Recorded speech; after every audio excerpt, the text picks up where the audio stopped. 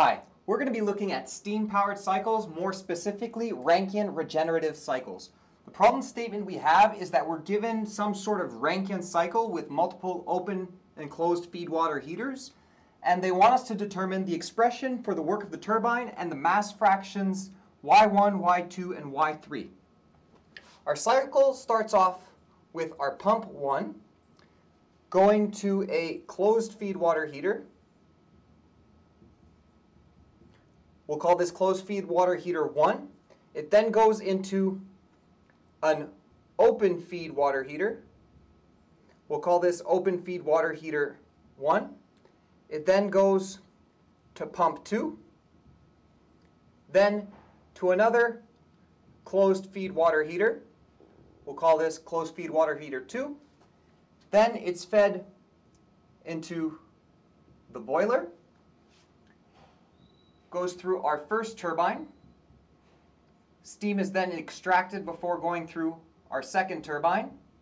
And finally, steam is extracted again before going through our third turbine. And then our last extraction happens before going into our fourth turbine.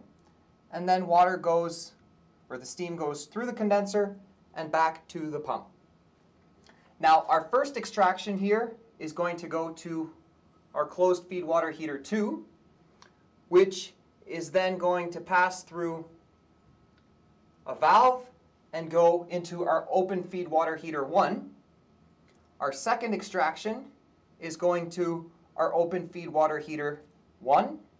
And our third extraction goes into our closed feed water heater 1 here through a valve and into our condenser.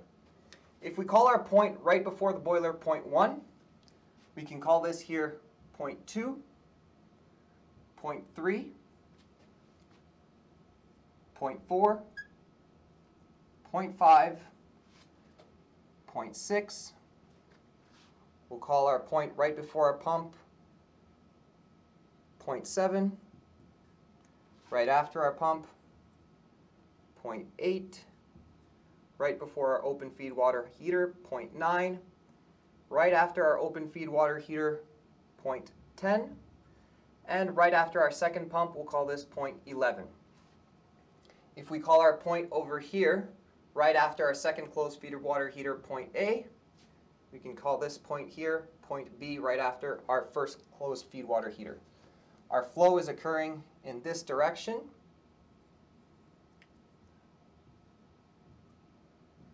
At this point, steam splits off. We can call this Y1. Steam splits off over here as well. We'll call this Y2. And steam is splitting off over here. We'll call this Y3. And then we go through our condenser. This steam is flowing as such, and this is flowing as such. I'll now attempt to try to draw the TS diagram. We're going to give ourselves a bit of space here.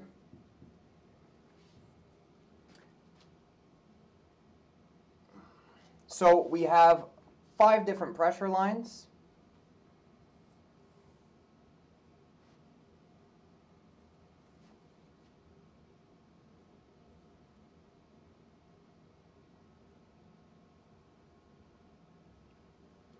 And then we said we're starting with our first pump we're going to some higher pressure over here where steam is being extracted from our second extraction process.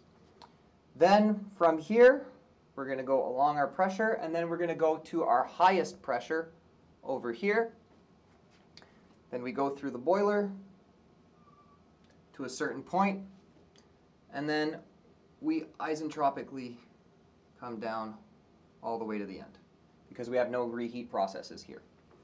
Steam is being extracted here. As such, we're going to this point here. This is where we go through our trap, and this is our first, our second, sorry, closed feed water heater. The steam that's being extracted here, so I'm just going to draw my points here. Steam that's being extracted here goes to this point here. In our open feed water heater. The steam that's being extracted here goes to our other closed feed water heater, then through our trap, and to some point over here. So we call this here point 1. This will be point 2, point 3, point 4, point 5, point 6. This will be point 7, point 8, point 9, or point, sorry, 10, and finally point 0.11. That'll make this A and this here B. Here we'll have y1, y2, y3, and these are directions of flow going like this.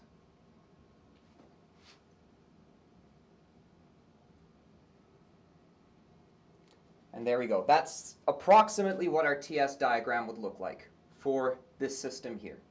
We're asked to find the work of this system. So the work of this system, or the work total, is equal to the work of the first turbine over here, plus the work of the second turbine, plus the work of the third turbine, and finally the work of the fourth turbine.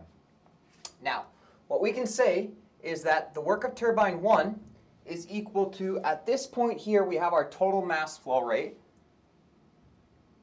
times the enthalpy at state 2 minus the enthalpy at state 3.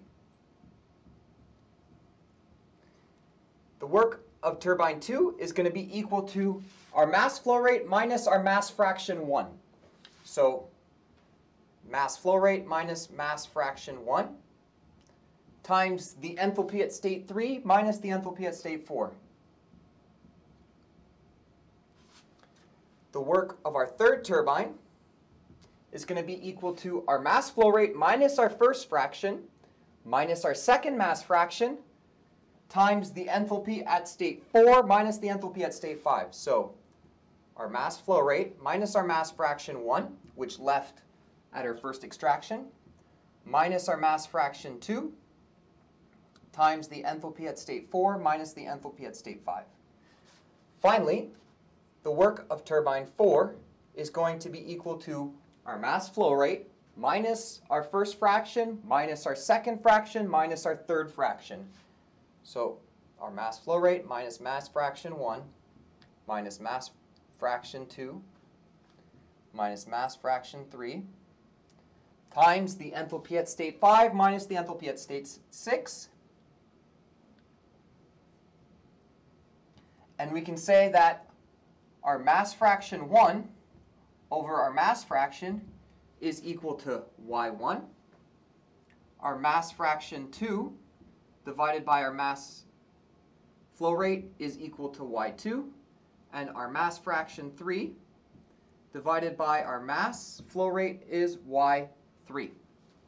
So we can see that we end up with the work of turbine 1 is equal to H2 minus H3. The work of turbine 2 is equal to 1 minus Y1, H3 minus H4. The work of turbine 3 is equal to 1 minus Y1 minus Y2, H4 minus H5. And the work of turbine 4 is equal to 1 minus Y1 minus Y2 minus Y3, H5 minus H6. Finally, with this information, we can find the work total. We said work total would be equal to our mass flow rate times H2 minus H3 plus 1 minus Y1, H3 minus H4 plus 1 minus Y1 minus Y2, H4 minus H5 plus 1 minus y1 minus y2 minus y3 h5 minus h6.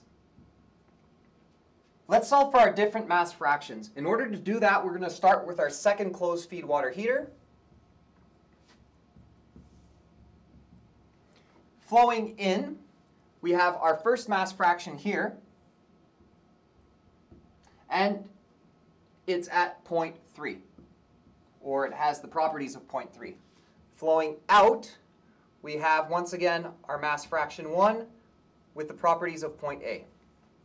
Flowing into our closed feed water heater, all of our mass fractions have rejoined here, so we have our full mass flow rate with the properties of 0.11. Finally, flowing out over here, once again, our full mass, our full mass flow rate, sorry, with the properties of 0.1. So if we use the first law, we can say that the enthalpy of 0.3, mass fraction 1, plus the enthalpy of 0.11 times our full mass flow rate is equal to the enthalpy of 0.1 times our mass flow rate plus the enthalpy of point A times our mass fraction 1. We said that mass fraction 1 over mass flow rate is equal to y1. And if you recall from our uh, TS diagram, we can also say that the enthalpy at A is equal to the enthalpy at 1. If we use a little bit of algebra here, we can isolate and say y1 is going to be equal to the enthalpy at 1 minus the enthalpy at 11 divided by the enthalpy at 3 minus the enthalpy at 1. And just to make it a little easier, we can say our mass flow rate times the enthalpy at 1 plus our mass fraction 1, the enthalpy at A, is equal to our mass flow rate, the enthalpy at 11, plus our mass fraction 1, the enthalpy at 3. From here, we go to here. Now let's take a look at the open feed water heater. If we look at our open feed water heater, we have our mass fraction 2 flowing in here with the properties of 0.4. We have our full mass flow rate flowing out, and this has the properties of 0.10. Flowing in from our closed feed water heater 2, we have our mass fraction 1 with the properties of point A. And flowing in over here, we have our mass flow rate minus our mass fraction 1 minus our mass fraction 2. But we can see here that our mass fraction 3 has been put back into the condenser. So we have our mass flow rate minus mass fraction 1 minus mass fraction 2. And this point here will have the properties of 0.9. If we use our first law, we can write that m dot H10 is going to be equal to all of the energy flowing in.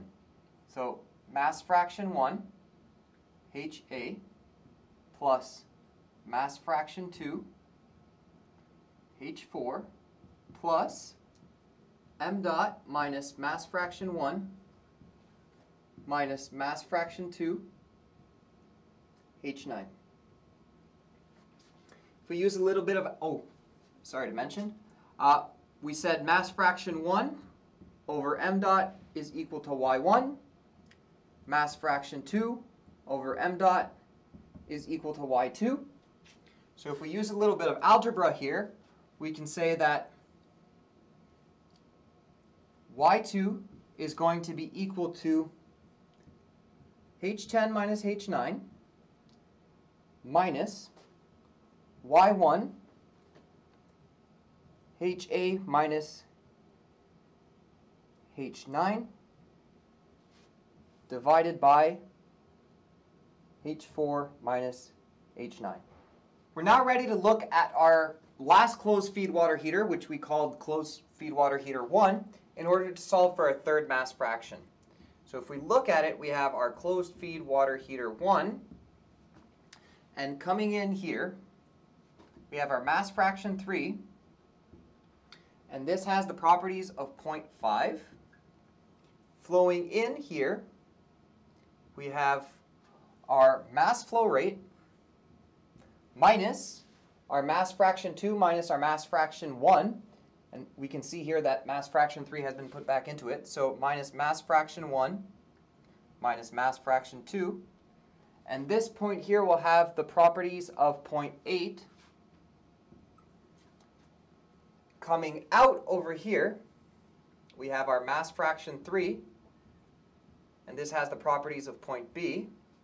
And then flowing out over here, we have our mass flow rate minus our mass fraction 1 minus our mass fraction 2. And this point here will have the properties of 9.